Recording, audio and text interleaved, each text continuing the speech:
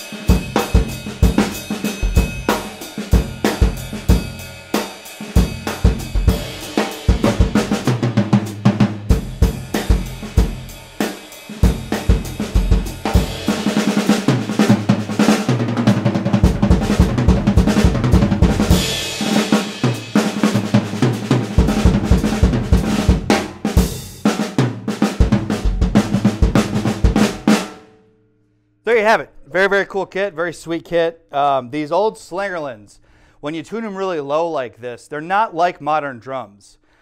They aren't as they are not as resonant, in my opinion. Um, if you if you play like a DW kit or even a Craviotto kit, um, if you tune them very, very low and muffle them a little bit, like I've done here, with the internal mufflers, and then these are just coated ambassador heads. Um, if you play on a more modern kit, it's a little bit of a longer note. But these ones, they have that kind of like 70s sound, very, very tight, um, kind of punchy sound. These are brass hoops, by the way, which is very, very cool also. Gives you a really interesting rim shot. Um, and, and just adds to the tone, tonality of the drums. But yeah, the 70s sound, it's great for uh, kind of a tight, punchy sound that won't get in the way at all with the toms. I'm going to do two more tunings, a middle one and then a higher one. It's really a fantastic uh, kit though, and uh, I definitely recommend it to anyone who's looking for that Slingerland sound. It's a very particular sound.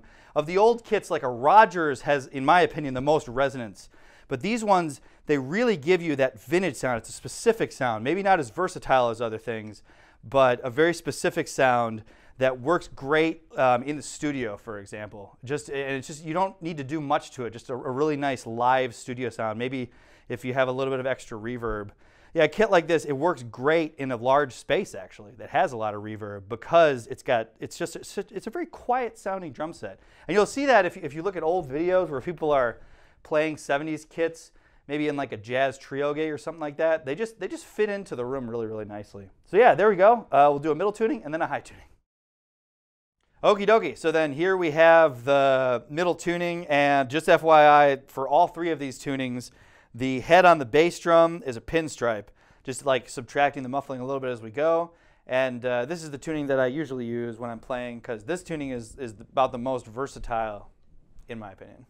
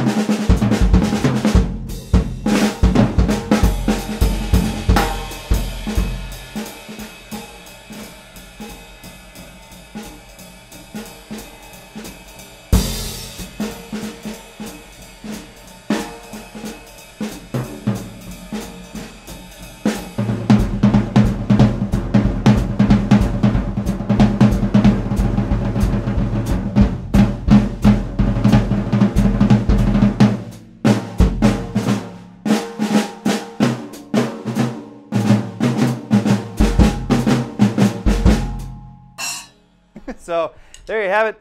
To me, this is kind of like a big band tuning. Uh, so uh, you can use the same heads and take a little bit more muffling off. The toms, by the way, had no muffling on this. And you can really hear when you do zero muffling on them how they just, they almost sound like they're a little bit muffled even if there is no muffling on them. And that's what I think is one of the coolest thing about things about these vintage drums. It has to do with the rounding bearing edge and just some of the other aspects there on these uh, these old these old drums. But yeah, you, you, gotta love them. This is a really really sweet kit, really fun to play. And then the snare drum too, incredible range. So yeah, we'll do like a high bebop tuning after this, and uh, stay tuned. Okie dokie. So this is the high tuning, and uh, it has the same heads on it, um, just less muffling. And then, uh, yeah, it's uh, th this is more for kind of like artistic uh, soloing and and jazz playing.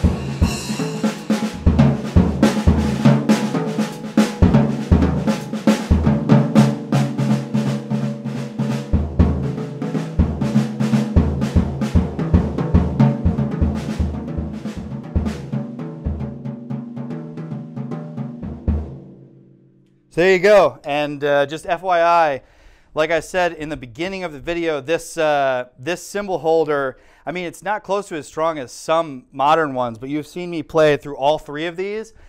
And it, I tightened it really, really hard. It has not moved throughout all three of these. This is a fairly heavy cymbal. So yeah, you know, if, it, if you have it straight up, which would mean you wouldn't be able to do this, you'd have to do like a cowbell there, it'll hold rock solid. So yeah, just uh, give us a call. We got this kit in the Illinois store. It's a very affordable and uh, really well-made Slingerland drum set with just a wonderful classic sound. And uh, that's all. Thanks for watching.